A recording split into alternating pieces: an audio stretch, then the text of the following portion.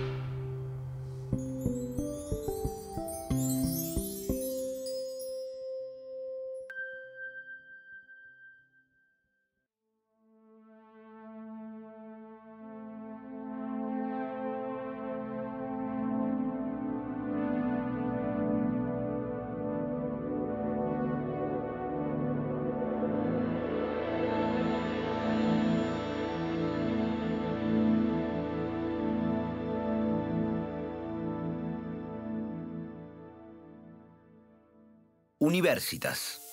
Esta palabra proviene del latín y define a toda comunidad que se organiza con cualquier objetivo. A partir del siglo XII, en Europa, su significado se aplicó para reconocer a los grupos de maestros y estudiantes que se unían por el derecho de enseñar y estudiar. Con el paso de los años, daría nombre a una de las instituciones más antiguas y complejas de la historia, la universidad.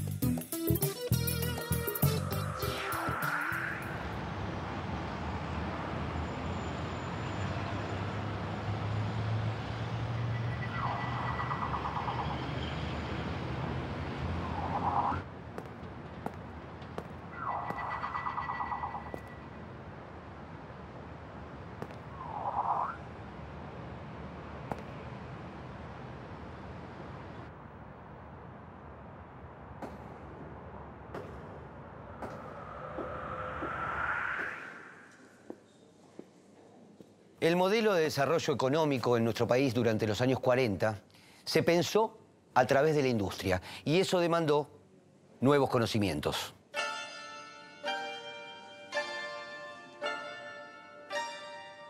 ¿Cómo se articularía el sistema universitario con el mundo del trabajo?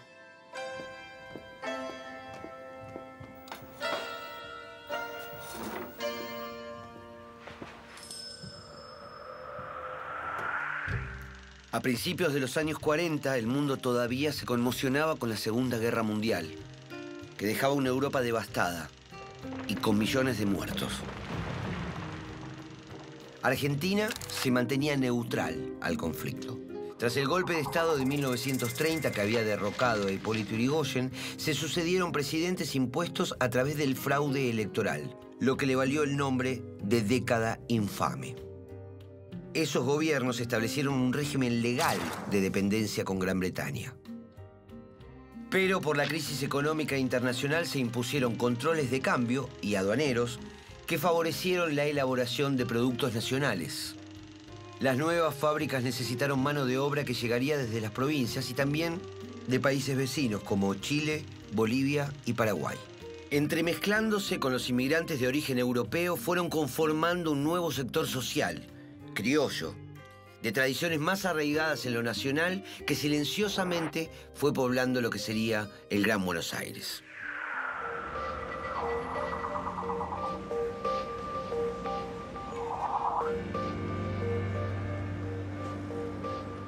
La vida universitaria durante la década infame se mantuvo dentro de las casas de estudio los enfrentamientos políticos vendrían por el posicionamiento ante los conflictos bélicos en Europa. La Guerra Civil Española y la Segunda Guerra Mundial harían pensar en términos de fascismo o antifascismo la política local. Los conservadores, pero también la izquierda y el radicalismo, estaban a favor de los aliados y presionaban al gobierno fraudulento de Ramón Castillo para que se pronunciara. Dentro del ejército se había conformado un sector de ideas nacionales que se oponía a la dependencia de Gran Bretaña y mantenía una postura de neutralidad respecto de la guerra. En 1943, un grupo de oficiales dio un golpe de Estado y designó presidente al general Arturo Rawson. Lo sucederían Pedro Ramírez y Edelmiro Farrell. La comunidad universitaria se opuso al golpe y durante ese año hubo intervenciones a las universidades autónomas y autogobernadas. Un caso relevante fue la intervención de la Universidad Nacional del Litoral por el católico integrista y fascista Jordán Bruno Genta, quien consideraba que la democracia era la antesala del comunismo. El cargo de interventor lo ejerció como un cruzado y provocó las cesantías de José Babini y Aldo Mieli. También hubo renuncias de profesores como Bernardo Jusay. A principios de 1945 se dio la normalización que levantó las intervenciones y reincorporó a los cesanteados. Ese mismo año la conferencia de rectores pidió que se convocara a elecciones generales. En tanto, había surgido una nueva figura política, el coronel Juan Domingo Perón, quien como secretario de Trabajo y Previsión había establecido alianzas con sindicatos y trabajadores. Por las diferencias internas en el gobierno militar, en octubre de 1945 Perón fue arrestado. El día 17 enormes masas de obreros salieron a la calle a pedir por su libertad y lograron también el llamado a elecciones. El 24 de febrero de 1946, Perón fue elegido presidente. A él se habían opuesto los demás partidos nucleados en la Unión Democrática, el embajador norteamericano Sprill Braden y gran parte del sistema universitario. Durante 1946, antes de la asunción de Perón, las universidades fueron intervenidas nuevamente. Muchos profesores decidieron renunciar. Sumados a los despidos se fueron 1.250 docentes, un tercio del total, incluidos varios integrantes de partidos de izquierda.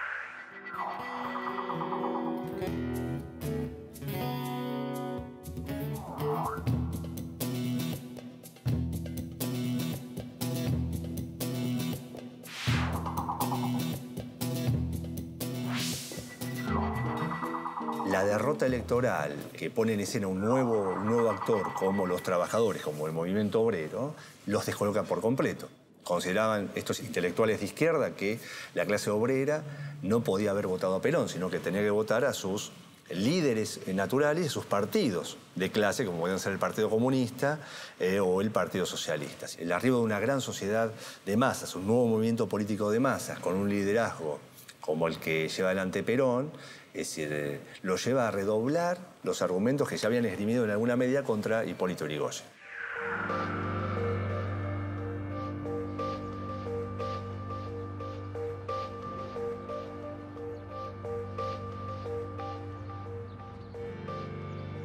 El gobierno de Perón impulsó un modelo económico y social nuevo, apoyado en las fuerzas del trabajo y con una política de alianzas con América Latina. Para ello desarrolló un Estado fuerte y políticas que por algunos sectores fueron tomadas como intervencionistas. En las universidades se encontró resistencia. En un principio las intervino y prohibió las actividades en los centros de estudiantes.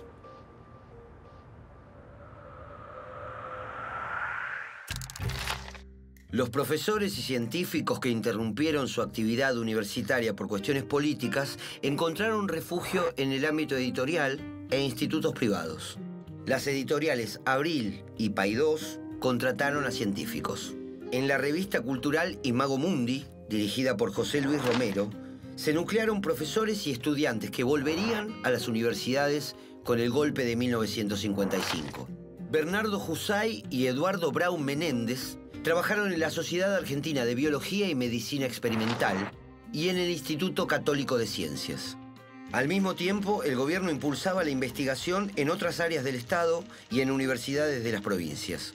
Se crearon la Junta de Investigaciones Científicas y Experimentaciones, el Consejo Nacional de Investigaciones Técnicas y Científicas y la Comisión Nacional de Energía Atómica.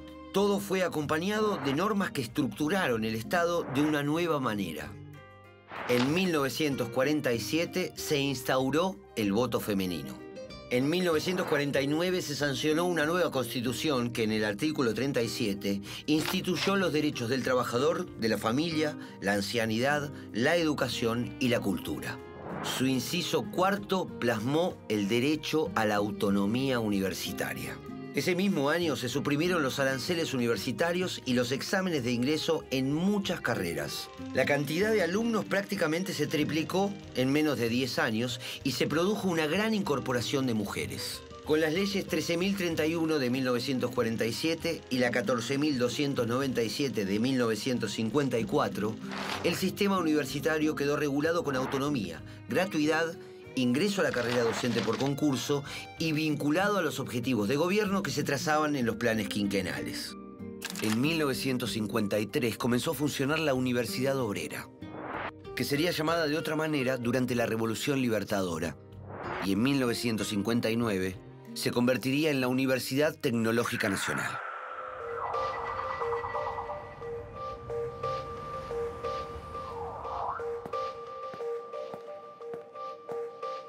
El proyecto peronista tuvo grandes oposiciones dentro de la universidad.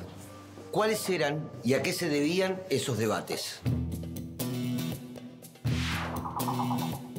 El gobierno de Perón va a poner a la tecnología por delante de la ciencia y el objetivo claro de este gobierno va a ser que la ciencia y la tecnología van a tener que estar al servicio del proceso de industrialización y lo que se va a ver es un proceso muy interesante de aprendizaje político, de incorporación de capacidades, digámoslo así, técnico-burocráticas en el Estado, un Estado que va a tomar un rol centralizador, planificador de la economía y la ciencia y la tecnología integradas a la política económica que va a tener como principal meta llevar adelante primero lo que podríamos llamar un proceso de industrialización por sustitución de importaciones de bienes de consumo, bienes durables y el objetivo del peronismo, ya se ve en el, segundo plan quinquenal, en 1952, de empezar a involucrarse con lo que podríamos decir rápidamente la industria pesada, con aeronáutica, metalmecánica y maquinarias, eh, ferrocarriles, etc. ¿no? Esto va a ser disruptivo incluso. Digo, va a haber sectores. Cuando uno va al grupo de Jusay o a la Asociación Argentina para el Progreso de la Ciencia, que claramente se enfrentan al gobierno de Perón durante el 46 y el 55, es decir, ahora Jusay está en algún sentido, entre comillas, atrincherado él y su gente en estos institutos privados, uno lo mira desde el presente y dice, bueno, claro, eran proyectos que tenían que colisionar, Jusay promueve una ciencia, como se dice en la época, una ciencia fundamental o ciencia pura, es transformado en el escenario internacional como víctima del peronismo. El New York Times, el Washington Post hablan de la tiranía del gobierno de Perón, es decir, no se acepta a nivel internacional que lo que está ocurriendo en la Argentina es una democracia. Y Jusay se presta a este juego. Es una batalla interesante en donde se están jugando dos proyectos para la ciencia y la tecnología argentina. Por un lado, una tecnología y una ciencia que tienen que acompañar proyecto con el Estado detrás. Eh, y del otro lado, una ciencia pura, fundamental, que cree que lo más importante son los estándares de calidad de producción de conocimiento y que eso significa entonces responder a las agendas internacionales. Hay una mirada muy ingenua de internacionalismo que se supone que la ciencia cultiva.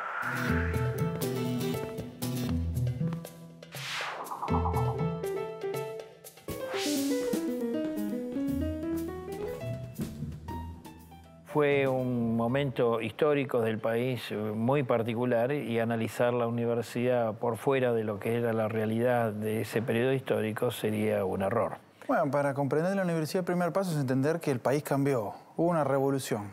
Por un lado, en el terreno político, se refunda el sistema de partidos, se crea un partido nuevo, o sea, el peronismo venía a romper una tradición entre conservadores eh, y radicales y otro universo de partidos más chicas, pero con importancia en la universidad, como es el caso del socialismo. Segundo, el peronismo modifica el patrón de desarrollo nacional. Básicamente, por dos planes de gobierno, que eran los planes quinquenales, plantea lo que llamaban la independencia económica, muy ligada a una idea de época muy fuerte que era la industrialización. Entonces, ¿esto qué genera hacia el seno de la universidad? Requerimiento de nuevos recursos humanos, distintos. Y después el peronismo es una revolución de contenido social, Hay una reivindicación muy fuerte del derecho de los sectores postergados históricamente en la Argentina, la educación, a la salud y la universidad. Muchísimas contradicciones hacia quienes venían gestionando la universidad, al menos desde la década del 30. Y el peronismo plantea una solución que es transferir la nueva fuerza política la soberanía a partir de leyes. Hay un proceso de refundación democrática que contempla la legislación universitaria.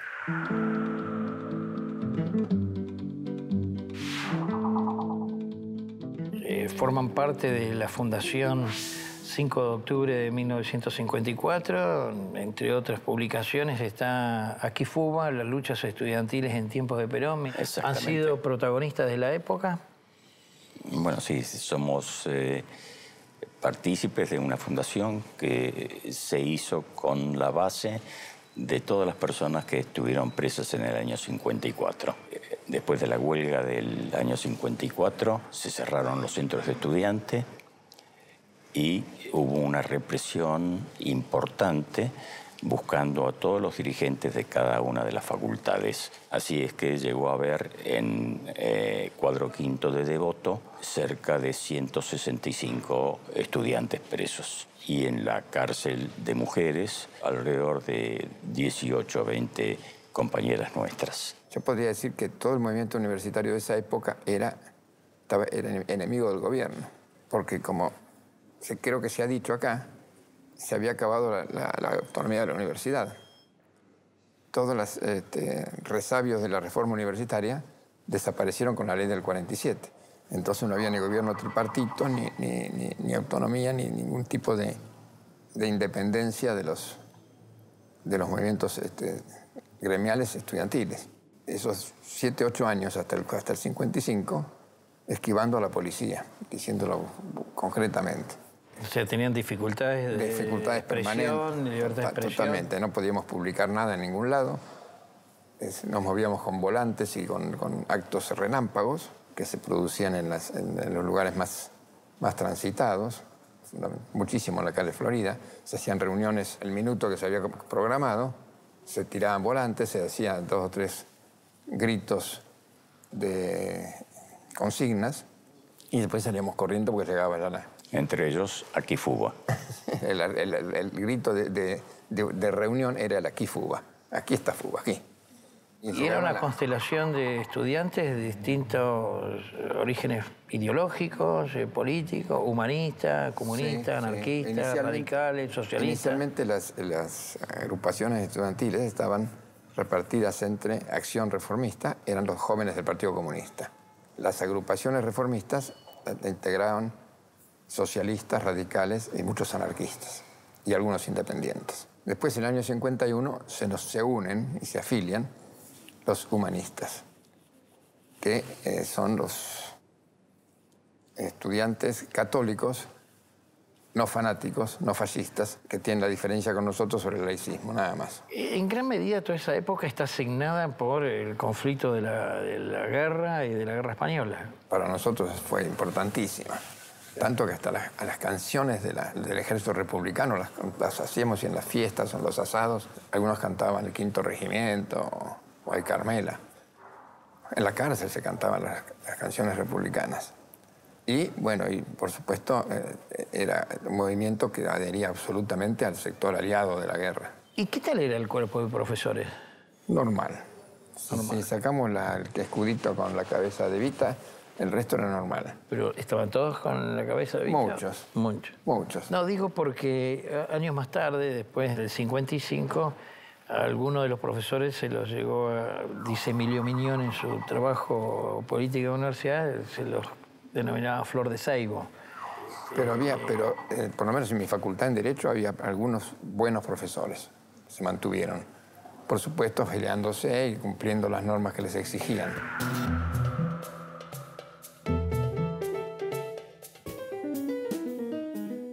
Todo caso, tus reflexiones a propósito de quiénes eran los planteles docentes de la época es bastante cuestionable, viéndolo de una perspectiva de retrospectiva hacia atrás, digamos, esta calificación de Flor de Saibo, ¿no? Bueno, yo creo que es eh, es una forma de explicar un fenómeno que no explica nada, que es muy ideológica, que me parece que si uno hoy analiza varios libros sobre el asunto, que dan cuenta de quién enseñó, que, que bueno, me parece que en términos historiográficos es mentira. Uno puede ir a las ciencias exactas. Por ejemplo, Balseiro.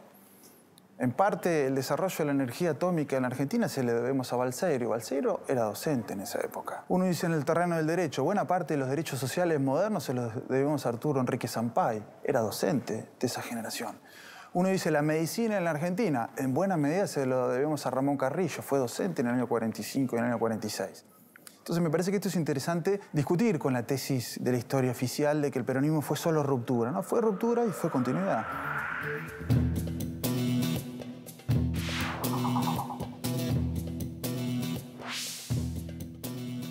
que nos tocó vivir un momento político muy interesante y relativamente simple para comprender. Porque habíamos vivido la guerra. La guerra era un residente. El fascismo no era una palabra vacía. Estar contra el fascismo era algo con la cual yo me hice a los 12 años leyéndole al abuelo socialista, leyéndole los editoriales de la vanguardia prácticamente el análisis histórico, dialéctico, lo hice a los 15 años.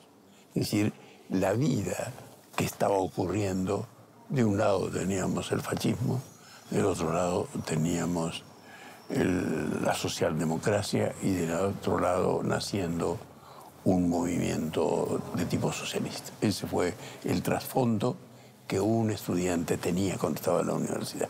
No era una caja vacía. Y en ese contexto, en esa criba, yo diría, pasó el peronismo. ¿verdad? Era un movimiento nacional y popular que dentro de lo que era la formación, diríamos, era un, un sujeto social nuevo. El movimiento popular peronista tenía mucho más presencia en la calle que adentro de la universidad. Voy a dar para finalizar una anécdota. Estábamos con tres amigos cuando cayó Perón, cuando se dio el, golpe. Éramos militantes los tres de izquierda, los tres de, ARDI, de la Agrupación Reformista de Ingeniería. Y me acuerdo que uno de los amigos, Raúl Gallardo, cuando vio toda la gente desfilando y los coches dando vueltas por Callao, Rivadavia, celebrando este hecho, nos miramos todos y vimos, nos llamó la atención que la gente estaba triste. Y Raúl dijo, puta, creo que Perón lo echaron por lo que tenía de bueno.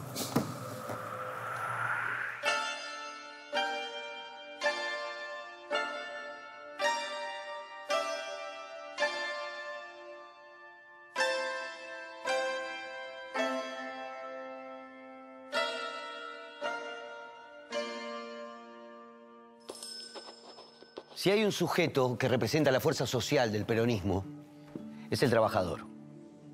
El trabajo fue considerado un valor primordial para la convivencia en sociedad.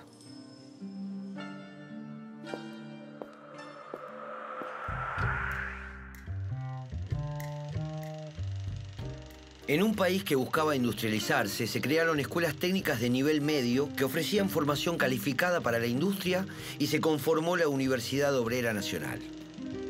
Allí podían concurrir trabajadores de fábrica con experiencia o quienes hubieran estudiado previamente en una escuela técnica. Los horarios se adaptaron especialmente para los obreros. Sus planes de estudio proponían especialidades como las instalaciones eléctricas, la construcción mecánica, los automóviles y la industria textil. Se obtenía el título de ingeniero de fábrica. Un antecedente de esta institución fue la Universidad Obrera Argentina creada en 1938 por el joven socialista y filósofo Mario Bunge, junto a otros militantes de izquierda, al margen del Estado, con la intención de capacitar a la clase obrera. En otras provincias como Tucumán o Mendoza, las universidades acompañaron los objetivos de los planes quinquenales y sus logros persisten aún hoy. ¿Cómo fue esa experiencia?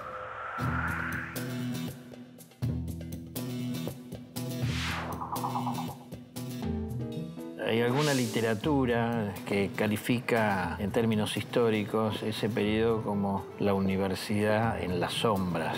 Y sin embargo encontramos situaciones este, específicas que mostrarían una evidencia contraria a esto y una de ellas es la Universidad Nacional de Tucumán a partir de que asume como rector, eh, nombrado por Perón, Horacio Descol.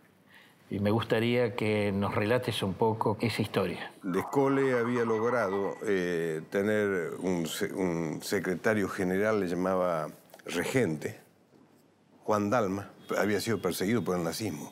Y esto hay que, hay que remarcar porque da el marco del pensamiento político que tenía también Descole. En los diarios de Alemania aparecía la Universidad Nacional de Tucumán requiere investigadores, investigadores y artistas. Bueno, trajo 220 investigadores y artistas a Tucumán. Siempre decían en Tucumán que era una cosa muy rara, de una, ciudad todavía casi cuasi rural, ver una cantidad de gente que andaba en bicicleta, que eran los, los gringos que venían en bicicleta a, hacer sus actividades. Bueno, en, ese interín también él ha hecho un planteo que se lo presentó a, a Perón y le dijo, la Universidad Nacional de Tucumán es la Universidad del Norte Argentino. ¿Y esto qué trajo aparejado?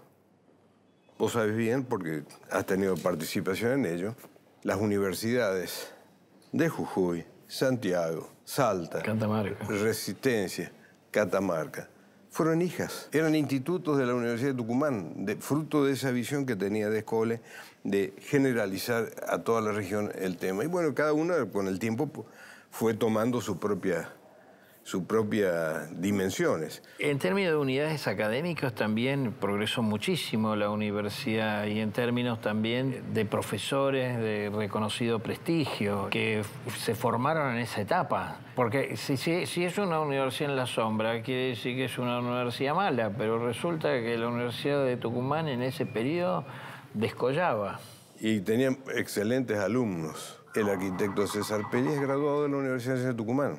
En esa época. De esa época, año 48. Claro, porque no existía la Facultad de Arquitectura. No. De Cole la crea en donde se forma Peli. O sea, De Cole crea arquitectura, arte, medicina y ciencias económicas. además del proyecto del campo universitario de la, de la Sierra de San Javier.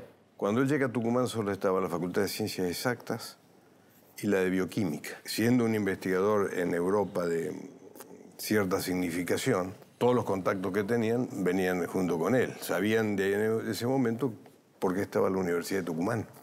Lamentablemente, al llegar al 55 viene el corte abrupto donde todo por haber sido cualquiera de los profesores o investigadores, por solo haber sido profesor en la época eh, de Perón, los, echaron los de Santiago lisa y llanamente a todos. Lamentablemente porque era un capital humano de mucha envergadura que teníamos en Tucumán. ¿no?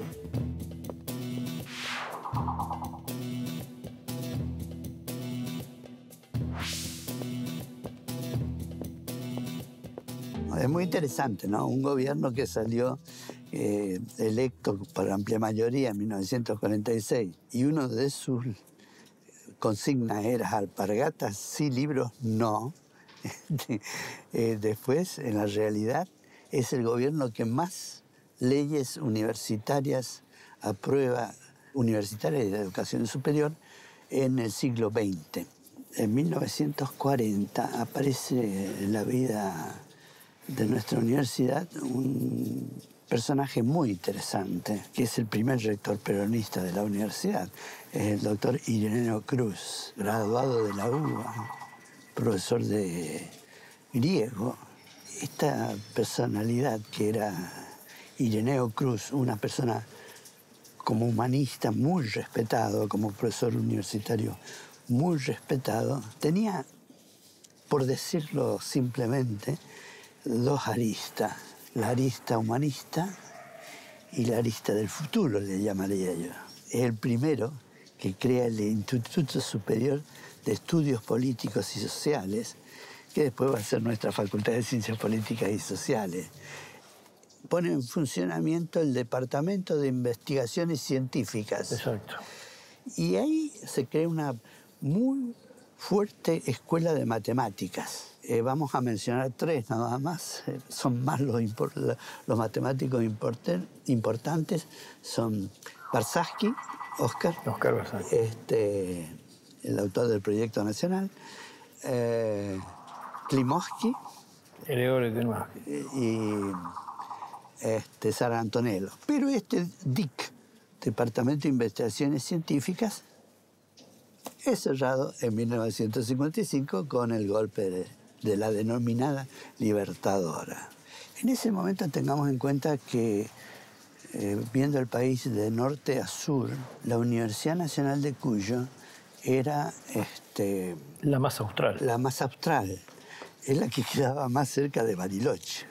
Surge la idea de, a través de la Comisión Nacional de Energía Atómica, eh, crear un instituto de estudios de física en el país que... En definitiva, durante la gestión de Irineo Cruz, en el primer gobierno, en el segundo gobierno de Juan Domingo Perón, está la iniciativa de trabajar en energía nuclear, para lo cual concluye con el Instituto de Física, poniéndolo frente a José Antonio Balseiro, que es el instituto hoy que lleva su nombre. Exacto. Y eso es una iniciativa de la Universidad Nacional de Cuyo, con, la, comisión, con la Comisión Nacional de Energía. Con la Comisión.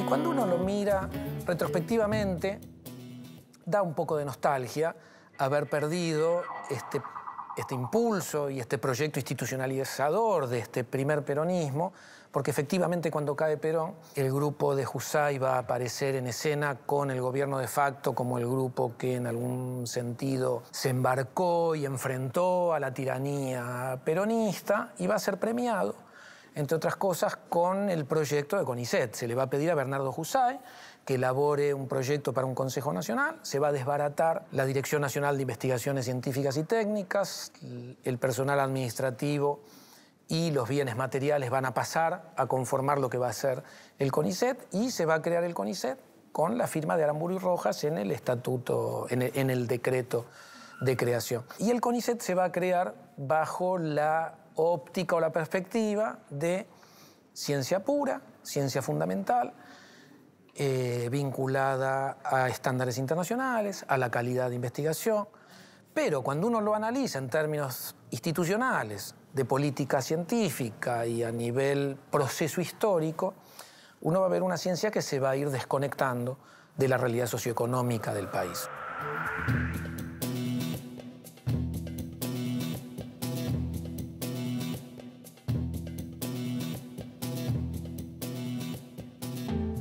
En general todo ese movimiento que estaba en fuga y con las distintas impresiones se pronunciaron a favor de... la Libertadora. De la Libertadora. Sí, sí, sí. Directamente se expresaron de forma directa.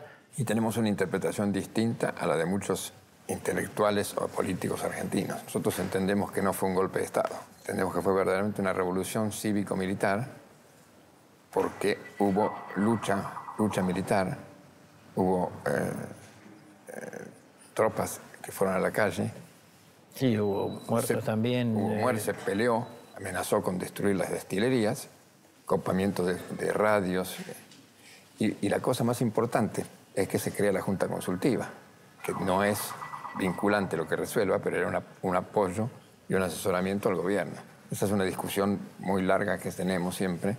Y con los mejores políticos, los mejores políticos de ese momento, ¿no? Mucho más, digamos, si nos proyectamos ya al 56 y, algunos fusilamientos, como Valle, etcétera. lo, de, Valle fue un, problema militar exclusivo, pero lo que deteriora la imagen de la Libertadora fueron los fusilamientos de José León Suárez. El José León Suárez. Claro.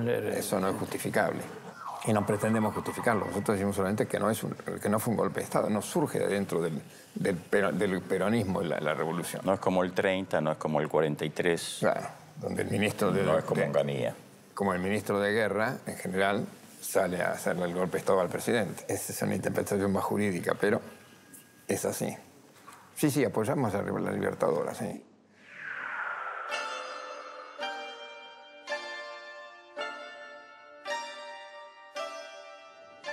El golpe de 1955 llegaría con apoyo de diferentes sectores sociales. La violencia desatada con ese golpe de Estado no cesará hasta 1983, marcando a la Argentina con décadas de interrupciones democráticas. Sin embargo, la vida universitaria, sobre todo en la UBA, tendrá a partir de 1955 lo que algunos llaman su etapa dorada.